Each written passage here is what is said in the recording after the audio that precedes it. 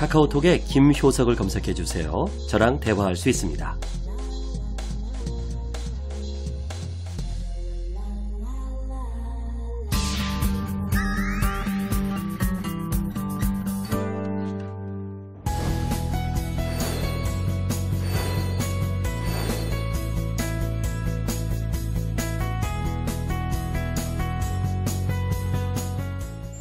반갑습니다. 설득 박사 김효석입니다. 반갑습니다.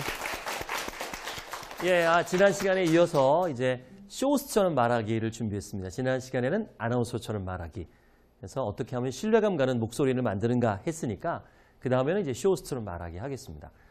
아, 이 강의를 만든 거는 제가 쇼호스트 하면서 1등을 좀 많이 했고요. 그 다음에 학원을 만들어서 학생들을 지금 가르치고 있는데 주어진 시간이 6개월이에요. 6개월에 일반인을 쇼호스트로 만들어야 되잖아요. 그래서 3개월, 3개월 쪼갰어요. 3개월 동안에는 아나운서처럼 신뢰감 가는 목소리 만들기. 그 다음에 3개월은 이제 프레젠테이션, 설득하기에. 그러니까 1부는 그거였던 거예요. 저희 학원의 양성반. 2부는 이제 심화반. 그 비싼 걸 지금 공짜로 여러분들께 공개하도록 하겠습니다. 아, 자, 쇼호스트 하면 어떤 게 떠오르세요? 아, 우선 충동구매. 절대 자기들은 충동구매 안 한다고 하죠. 말이 안 되는 게 홈쇼핑은 계획 구매가 아니거든요. 뭐 살려고 보세요. 보다 보면 사요. 안 사면 막 죽을 것 같아요. 막 가슴이 뛰면서. 그게 비법이 있습니다. 그걸 이제 3Y라고 제가 정의를 내렸는데 세 가지의 질문을 스스로에게 해보고 답을 찾는 거예요. 그리고 고객이 그 답을 찾을 수 있게 도와주는 겁니다. 첫 번째 왜를 질문합니다. 왜 필요한가에 살려고 온 사람들이 아니라서 그렇습니다. 편의점에 가면 이제 알바분들이 계시죠. 그분들은 달라는 것만 줘야 돼요. 만약 거기서 이거 몸에 안 좋으세요. 이거 사세요라고 알지 않죠. 그 담배 사러 가면 담배를 왜 피세요라는 건 안 해요. 그들은 설득하지 않습니다. 그냥 드리는 거예요. 그러면 나중에 로봇이 대체할 수 있을까요? 없을까요? 있겠죠. 가장 먼저 없어지는 직업 가운데 하나일 거예요. 로봇은 24시간 근무하니까. 달라는 거 주면 되잖아요.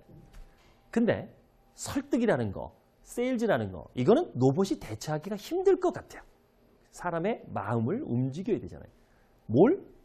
필요하게 만들어야 돼요. 이 필요하게 만든다는 게 얼마나 중요하냐면 어떻게 보면 동기부여예요. 자, 동기부여라는 게 뭐예요? 뭘 하고 싶다. 해야 된다는 거잖아요. 이걸 주는 거잖아요. 이 쇼핑이라는 건 되게 좋은 거예요. 뭘 사고 싶다는 거 굉장히 좋은 거예요. 갖고 싶다는 거. 그거를 만들어주는 거예요. 그럼 처음부터 어떻게 되느냐? 저는 질문을 하라고 얘기를 합니다. 일반 방송은 자기들끼리 막 떠드는 거를 우리가 엿보는 거예요. 굳이 그들은 설득할 필요 없거든요. 근데 쇼호스트 멘트를 잘 보세요. 유명한 쇼호스트들은요. TV 카메라를 보면서 자꾸 말 걸어요. 자꾸 말 걸어요. TV에 혼자 집에서 보잖아요. 나한테 말 건다? 그럼 난 뭐예요? 막 대답해요. 대답하다 보면 사고 싶어요. 이게 커뮤니케이션이에요. 그러니까 여러분들이 설득을 잘하고 싶다면 일방적으로 정보를 주는 게 아니라 그 사람에게 질문해서 대답하게 만들고 그거를 아니라고 하는 거예요. 잘못됐다고 하는 거예요. 그러면 궁금증이 생겨요. 갈등이 생겨요. 어, 궁금하게 만들어야 되는 거예요. 제가 한번 여기서 TV를 한번 팔아볼까요? 여기 TV 살 사람 아무도 없죠? 어, TV 한번 팔아볼게요. 내가 TV를 이렇게 사러 갔는데 점원이 이렇게 내가 보고 있는 TV를 확 꺼버리는 거예요. 만약에 내가 보고 있대. 기분 나쁘잖아요. 그때 그러는 거야.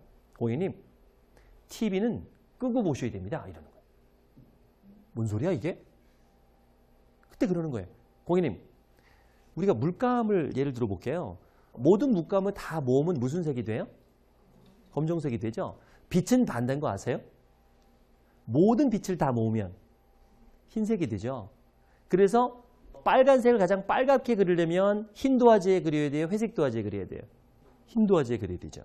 그 빛은 바탕이 어때야 돼요? 까매야 되죠. 그래서 불꽃놀이 언제 합니까? 밤늦게 하고. 흑장 가면 어때요? 불 다 끄죠. 제가 꺼서 보이던 이유가 있습니다. 이 TV의 패널이 새카만 올블랙입니다. 이걸 확인하시라 그런 거예요. 다른 TV는 회색이거든요. 패널이. 어느 TV를 사셔야 돼요? 그렇죠? 제가 질문을 계속 형 대답했잖아요. 그러다 보니까 갈등 막 일어났잖아요. 그걸 해결해 줬죠. 이렇게 설득하는 거예요. 일방적인 주장이 아니라 질문을 통해서 대답하고 그 상식을 자꾸 깨주면서 해주는 것이 이제 질문법이에요. 니즈를 만든 건 이렇게 만들어야 됩니다. 이걸 제일 잘하는 사람이 누굽니까? 소크라테스입니다. 소크라테스 자꾸 질문을 하고 스스로 답을 찾게 만들었죠. 갈등하게 만들고. 이걸 소파법이라 그러는데 이 소파가 뭐냐면 요즘에는 없지만 옛날에는 애를 낳을 때 이렇게 산파라 그래서 도와주는 사람을 소파라 그랬어요. 스스로 아이를 낳을 수 있게 만든다. 질문을 통해서. 그래서 누군가를 필요하게 만들려면 질문을 해라. 그 다음 단계가 넘어가는 게 왜 나냐 이거예요. 이제 뭐 상품이면 왜 이 상품이냐는 거고. 영상이 마음에 드셨다면 구독과 알림 눌러주세요. 생방송으로 진행하는 비공개 강의를 보실 수 있습니다.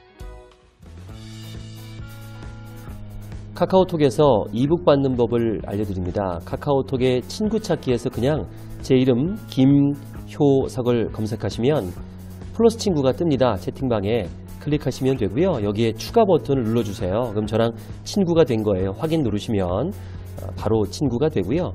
아래쪽에 이북 받기라고 보이시죠? 여기를 클릭하시면 됩니다. 바로 다운됐죠? 여기를 클릭하면 또 다운로드가 돼서 이북을 받으실 수 있습니다. 아, 이거는 화면상에 보이는 거니까 또 다운로드를 한번 더 눌러주세요. 내 휴대폰에 들어와 있습니다. OBM 설득 마케팅 80페이지 오프닝 부분까지만인데요. 도움이 되실 겁니다. 앞으로 저랑 친구 되셨으니까 다양한 강좌나 또 자료들 보내드리겠습니다. 카톡에서 계속 뵙겠습니다. 고맙습니다.